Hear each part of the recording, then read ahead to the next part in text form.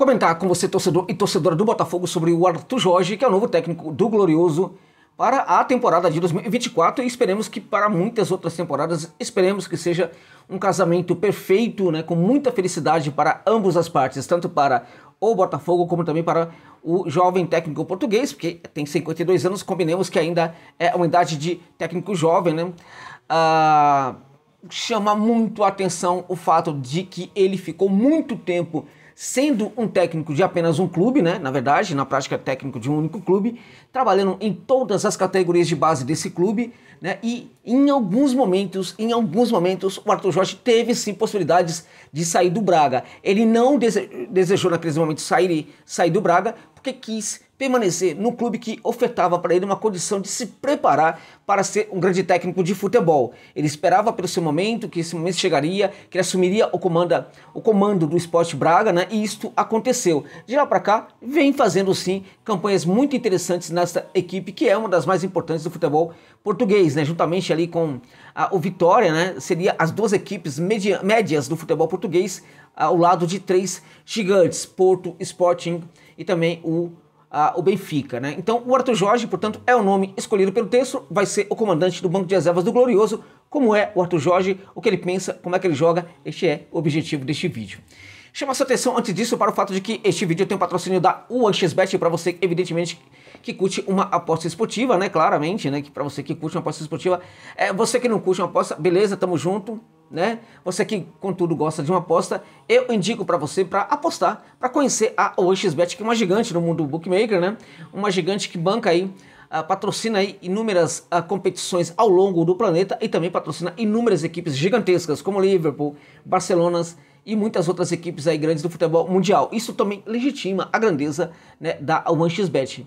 Bom, além disso, ela na Europa tida como a mais confiável casa de aposta do planeta, do mundo, né? Além disso, Além disso, não fica te enrolando, não fica suspendendo o mercado nos acréscimos dos jogos. Enfim, a 1xBet é de fato uma casa de aposta muito confiável. Então, eu deixo esta dica para você que curte, evidentemente, uma aposta esportiva, beleza? Use o link, portanto, que está na descrição do vídeo e no comentário fixado para se cadastrar na OXBet. Mas, por favor, coloque também o código promocional OXJOSA, que vai não somente notificar para eles que vale a pena investir no meu canal aqui, patrocinar este canal, como também vai te dar é, um bônus de até R$ 1.200 no seu primeiro depósito. Beleza, gente? Fechou? Então vamos lá. Arthur Jorge, depois de muitas entrevistas, o texto chegou ao nome do Arthur Jorge. Era difícil trazer o Pedro Martins. Eu estava imaginando mesmo que era complicado. Eu até imaginava que é, pudesse ser mais o Carvalhal, o Carvalhal estivesse muito mais próximo do que o Pedro Martins, em virtude de que o Pedro Martins hoje tem é, um trabalho muito legitimado hoje no futebol do Oriente Médio, né? Então eu suponho que talvez não, não fosse tão fácil assim e que o Pedro Martins não era um nome tão, é, é, tão perto do Botafogo como muitos estavam noticiando. Né? Havia um terceiro nome, é, eu cheguei a especular aqui, falei do Bruno Genésio como uma grande possibilidade para o Botafogo. Né? É, este nome é, é, do técnico do Braga, que tem aí uma multa com o Braga aí de 10 milhões Uh, de euros, né? mas evidentemente é que ele deverá negociar essa, essa, essa saída. É muito provável que o Sporting Braga é, facilite essa saída, né? Por quê? Porque há uma relação de muito amor, muito carinho e muito respeito de ambas as partes. O Arthur Jorge é um cara que sempre trabalhou com muita seriedade no Braga e este trabalho dele, esse perfil de um trabalhador muito sério, é reconhecido e é valorizado é, no clube do Braga. Então vamos lá, eu acho que é possível sim que ele chegue ao Botafogo. É, enfim, a custo zero, ou o Botafogo pagando um valor bem menor do que esses 10 milhões, um valor é, longe do simbólico, evidentemente, mas também muito longe desses 10 milhões aí. Ou pode até mesmo sair de graça do Braga para o Botafogo, né? Vamos lá, como é que é o Arthur Jorge? Como eu disse, é um técnico uh, de um único clube, na verdade, né, na sua carreira, um grande estudioso de futebol, um dos técnicos portugueses mais estudiosos que eu conheço, um técnico de futebol que pensa demais o jogo o tempo inteiro, um técnico de futebol que até hoje sempre se colocou como um aluno diante dos desafios que o futebol coloca para a carreira dele. Um aluno, ou seja, um ser que precisa o tempo inteiro estudar para aperfeiçoar a sua visão sobre o jogo é um técnico que gosta da, do futebol ofensivo, da sua equipe assumindo, buscando, na verdade, o protagonismo em campo, assumindo esse protagonismo e tentando encaixotar o seu adversário lá no campo de defesa. Há, evidentemente, situações em que a equipe dele não consegue fazer isso, de tal sorte que quando ocorre essa situação, a sua equipe até divide a posse de bola com seus adversários. É, nesses jogos, portanto, a equipe do Braga tem 55% de posse de bola, 52%, 50%, um pouco menos, enfim, tal. Há situações em que, que a equipe, inclusive, entrega essa bola para o adversário diante das dificuldades. Então, há uma leitura imediata dentro de campo da sua equipe, dos seus jogadores, de que naquele confronto, naquele jogo, não é possível manter esse tipo de proposta com a posse de bola. Então, a equipe do Braga ela tende a recuar um pouco mais suas linhas e praticar esse jogo aí uh, do contragolpe. Porém, não é que ele desiste da ofensividade. A ofensividade para o Arthur Jorge e que ele praticava, é, fazer a equipe do Braga praticar, é uma ofensividade que ocorre em todos os setores do campo. Isso é muito importante. Quando o técnico tem uma mentalidade ofensiva, ele pode, pode praticar essa ofensividade com a sua equipe, mesmo quando ela estiver trabalhando no campo de defesa, né? E há também equipes uh, que podem perfeitamente estar trabalhando no campo de ataque, mas está muito mais preocupado com os aspectos defensivos do, jo do jogo do que propriamente em atacar, em construir, em tentar chegar a fazer o gol no seu adversário. Então veja, o Braga quando joga recuado, ele tem uma proposta ofensiva, ok? O Braga quando joga recuado, ele busca ter uma proposta dentro de campo protagonista. Quando ele joga recuado, ele busca domar né, completamente o seu adversário, sobretudo nos aspectos mentais é, do jogo. Né? Então, evidentemente que isto para algumas partidas em que a equipe dele é, tem muita dificuldade diante de elencos muito mais poderosos, diante de equipes com orçamentos muito maiores, diante de jogadores muito melhores do que os jogadores da sua equipe. Mas, na maior parte das vezes, a equipe do Braga jogava com o protagonismo e também com um percentual maior de posse de bola. E é isto que deverá também acontecer com o Botafogo. A gente tem esquemas vários, né? Vários ele pode usar uma linha de 3, ele pode usar uma linha de 3 que se comporta como 5 em algumas situações, ele pode usar uma linha de 4, 4, 2, 3, 1, e aí pode ter, podemos ter muitas variações nessa proposta aí, né? Em geral, né, ele joga muito com 4, 2, 3, 1, né, que se confunde muito, sobretudo é, na situação de marcação, com 4-4-2, né? Uh, mas de qualquer forma, a gente olhando para o desenho, notadamente o desenho em que a equipe dele começa a partida, na maior parte das vezes a gente vai lidar com um esquema de 4-2-3-1.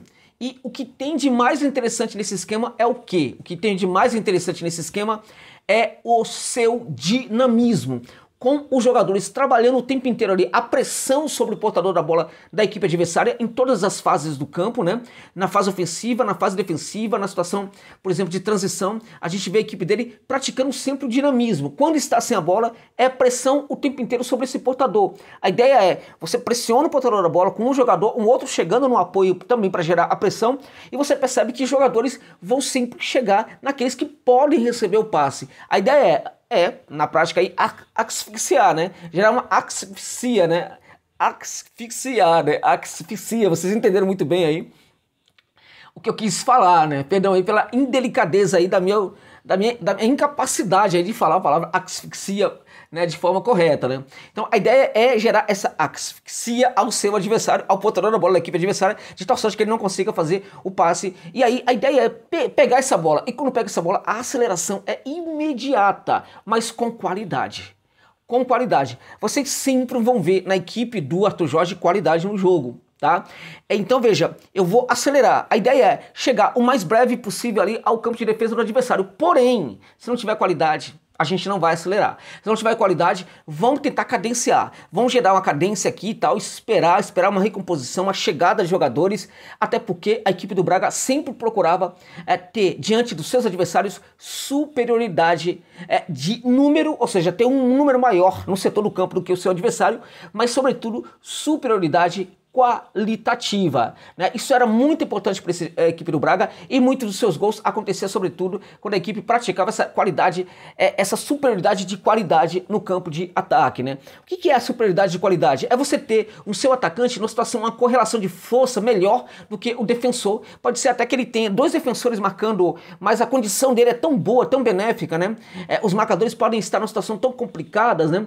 Que aquele, é, aquele único atacante pode perfeitamente ter superioridade inferioridade ali diante dos marcadores. Então ele tem ali uma inferioridade numérica, mas tem uma superioridade de qualidade. Quando isso acontecer, mesmo que um jogador da sua equipe tenha dois ou três marcadores, a bola vai buscar esse jogador, né? Agora, como é que o cara que tem a bola, que porta a bola, ele consegue fazer essa leitura? Aí a gente entra numa grande qualidade do trabalho do Arthur Jorge. É tentar trabalhar a mentalidade do jogador. O Jorge sempre foi um técnico preocupado em trabalhar a inteligência do jogador para ler o que acontece dentro de campo, a leitura dentro de campo, né?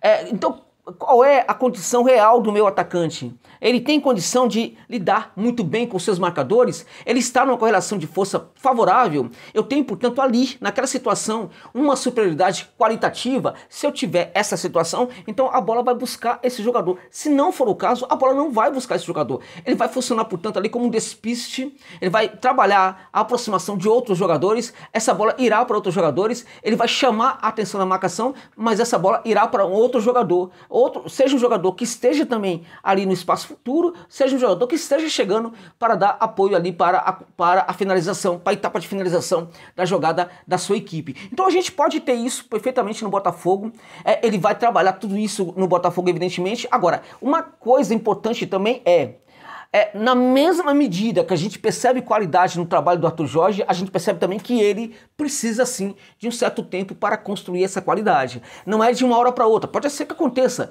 Pode ser que no primeiro jogo a equipe do Botafogo esteja jogando um futebol brilhante, mas isso é muito improvável, porque pela experiência do Arthur Jorge, né, em todos os trabalhos que ele iniciou, mesmo na base da equipe do Braga, a gente percebeu uma certa demora para que a equipe conseguisse é, compreender tudo aquilo que ele tinha que passar para jogadores. Não é que ele tenha dificuldade para traduzir o que ele pensa para jogadores, longe disso. Até o faz com certa facilidade até é, é para inúmeros jogadores, até mesmo jogadores que falam outra língua, ele consegue trabalhar muito bem aí essa condição, né? De traduzir o que ele pensa, as suas ideias para os jogadores. O problema é, o Arthur Jorge é um perfeccionista, gente, e ele quer fazer com que os seus jogadores também se comportem de forma perfeccionista, né? Que os jogadores tenham um entendimento profundo sobre várias situações do jogo, que o jogador é, preste muita atenção no detalhe, que o jogador recupere o detalhe que está é, acontecendo dentro de campo, detalhe, né? Sempre o detalhe. Né? A equipe do Braga é uma equipe que conseguia se notabilizar muito em virtude de que os seus jogadores em campo tinham muita inteligência, praticava muita inteligência tática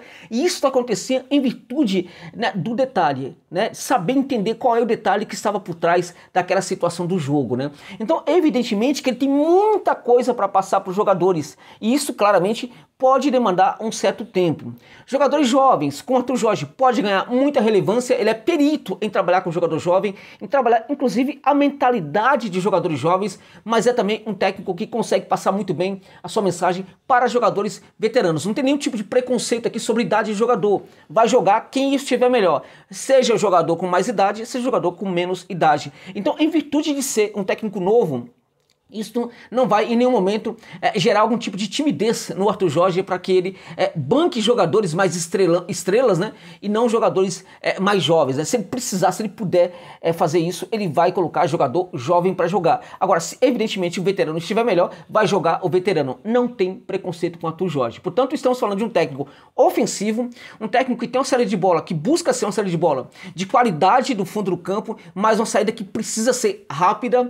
Ela não será rápida rápida quando a qualidade não estiver associada à rapidez dessa saída. Agora, se for possível atribuir é, qualidade e agilidade na saída, ela vai, isso tudo vai acontecer ao mesmo tempo. A bola precisa chegar ao setor de meio de campo e quando ela passa por ali, a mesma coisa. Se for o caso, ela será trabalhada no meio de campo, mas o, a preferência da, das equipes do Arthur Jorge, né, é que essa bola seja trabalhada com qualidade, mas com muita velocidade também no setor de meio de campo, que ela chegue rapidamente aos atacantes. Agora, esses atacantes não vão ficar esperando essa bola chegar, eles vão tentar sempre recuar um pouquinho, né, para gerar uma associação de qualidade. Porque o Arthur Jorge também se preocupa muito com essa questão aí de como manter a posse de bola, não perder a bola, porque a equipe do Botafogo, a partir de agora, também vai tentar se defender com a posse de bola. Portanto, eu diria para você, é uma aposta. É uma aposta, é um técnico jovem, um técnico muito estudioso, muito humilde, muito humilde, muito respeitador, um cara que vai vestir a camisa do Botafogo, né? Se deixarem ele trabalhar, ele vai, provavelmente, ele vai cair nas graças dos torcedores, porque ele, ele é o tipo de técnico que defende demais, demais, né, o clube que ele está em que ele está trabalhando. Então, provavelmente, ele pode sim gerar com o Botafogo um casamento perfeito. Foi uma aposta? Foi. É uma aposta? É. Mas foi uma aposta, na minha opinião, uma aposta muito válida do John Testor para o Botafogo neste momento. Então, sorte ao Arthur Jorge, sorte ao Glorioso nessa relação que, na minha opinião, tem de tudo para ser uma relação muito perfeita.